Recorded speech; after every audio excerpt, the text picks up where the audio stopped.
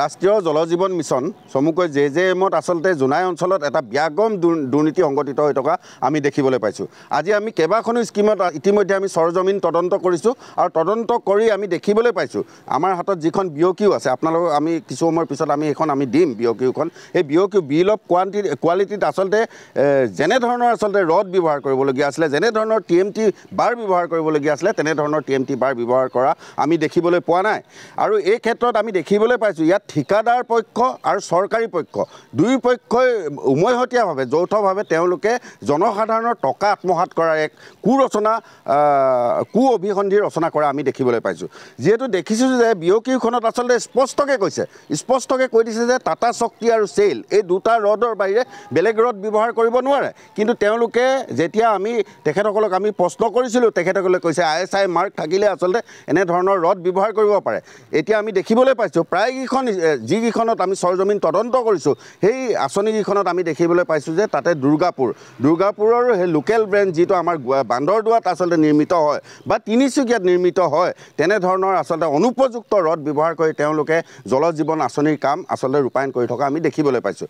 আৰু ইয়াৰ দ্বাৰা এটা কথা আমি স্পষ্ট কৰি দিবলৈ বিচাৰিছোঁ ৰাইজক যিহেতু ৰাইজে আমাক যথেষ্ট সংখ্যকে আমাক এই বিষয়ে আমাক প্ৰশ্ন অৱতাৰণা কৰিছে গতিকে আমি এই বিষয়ে আমি স্পষ্ট কৰি দিবলৈ বিচাৰিছোঁ যে ৰদ হ'লেই নহয়। চৰকাৰে আচলতে ভাবি গুণি এই টেকনিচিয়ানসকলে বিশেষভাৱে ভাবি গুণি এই ৰদসমূহ উপযুক্ত বুলি বিবেচনা কৰিছে। কিন্তু তেওঁলোকে কেৱল দামৰ স্বাৰ্থত যি যিহেতু আপোনালোকে জানে যি লোকেল ব্ৰেণ্ডৰ ৰদৰ তুলনাত যি টাটা টি এম টি বা শক্তি টাটা শক্তি বা চেইল এনেধৰণৰ যিবিলাক ৰড আছে যিবিলাক ব্ৰেণ্ডেড ৰড সেইবিলাকৰ দাম প্ৰায় প্ৰতি কিলোতে দহ টকাৰ অন্তৰ হয়। গতিকে এই টকাখিনি আচলতে মিলি ভকত কৰিবৰ কাৰণে চৰকাৰী পক্ষ আৰু ঠিকাদাৰ পক্ষই দুই পক্ষৰ বুজাবুজিৰ মাজেৰে যে তেওঁলোকে টকাখিনি আত্মসাত কৰিবলৈ বিচাৰিছে এই কথাটো ইতিমধ্যে স্পষ্ট হৈ পৰিছে। আৰু এই ক্ষেত্ৰতে আমি যিহেতু আমাৰ ধেমাজি জিলাৰ উপায়ুক্ত মহোদয় এই আঁচনিসমূহৰ আচলতে অধ্যক্ষ তেখেতক তেখেতৰ আমি দৃষ্টি আকৰ্ষণ কৰিবলৈ বিচাৰিছোঁ আপোনালোকৰ যোগেদি। আপোনালোকে চৰজমিন তদন্ত কৰক আৰু চৰজমিন তদন্ত কৰি ইয়াৰ এটা প্ৰতিবেদন তৈয়াৰ কৰি যি চি এম ভিজিলেঞ্চ আছে এই চি এম ভিলেঞ্চ ভিজিলেঞ্চৰ যোগেদি আচলতে ইয়াৰ আচলতে এটা তদন্ত হ'ব লাগে আৰু যিসকল দোষী ব্যক্তি আচলতে দোষী ঠিকাদাৰে হওক বিষয়া কৰ্মচাৰীয়ে হওক প্ৰত্যেকৰ ওপৰত আচলতে দৃষ্টান্তমূলক শাস্তি গ্ৰহণ কৰিবলৈ আমি যুৱ ছাত্ৰ পৰিষদৰ তৰফৰ পৰা আমি দাবী উত্থাপন কৰিছোঁ। আৰু এই যি আমি দাবী উত্থাপন কৰিছোঁ এই দাবী যদি কম সময়ৰ ভিতৰতে উক্ত স্কীমসমূহ বন্ধ কৰি পেলাই যথোচিত ব্যৱস্থা গ্ৰহণ নকৰে আমাৰ জনায়ত য'ত পাব্লিক হেল্থ ডিপাৰ্টমেণ্টৰ য'ত জল জীৱন আঁচনি চলি আছে প্ৰায় আশীখন স্কীম চলি আছে তাত প্ৰায় সামগ্ৰীসমূহ নিম্নমানৰ হৈছে। তাত ইউজ কৰা চিপছ চিপছৰ ঠাইত চেনগেবেল লগোৱা হৈছে মাটি লগোৱা হৈছে আৰু তাত কিছুমান ৰড চিমেণ্ট আদি কৰি সকলো সামগ্ৰী আৰু পাইপসমূহ সকলো সামগ্ৰী নিম্নমানৰ চলি আছে। গতিকে আমি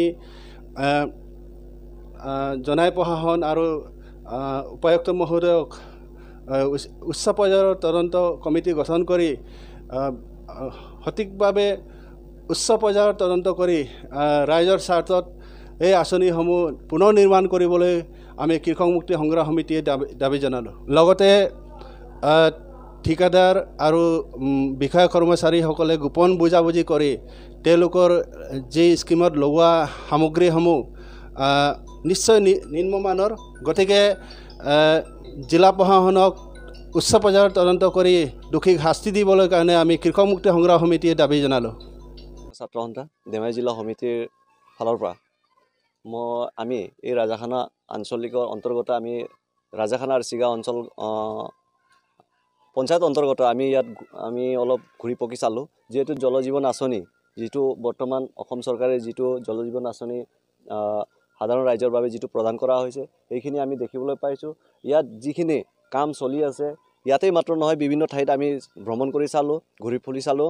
যিহেতু যিখিনি ইয়াত কাম চলি আছে এইখিনি এজ পাৰ ইষ্টিমেটৰ মতে ইহঁতে ইয়াত যিবিলাক মেটেল আছে মেটেলসমূহ ব্যৱহাৰ কৰা নাই সেইখিনি ব্যৱহাৰ নকৰাৰ ফলত আমি যি যিজন ইয়াৰ ঠিকাদাৰ আছে আমি শুনিবলৈ পাইছোঁ ঠিকাদাৰ ৰাণাদেৱ শইকীয়া।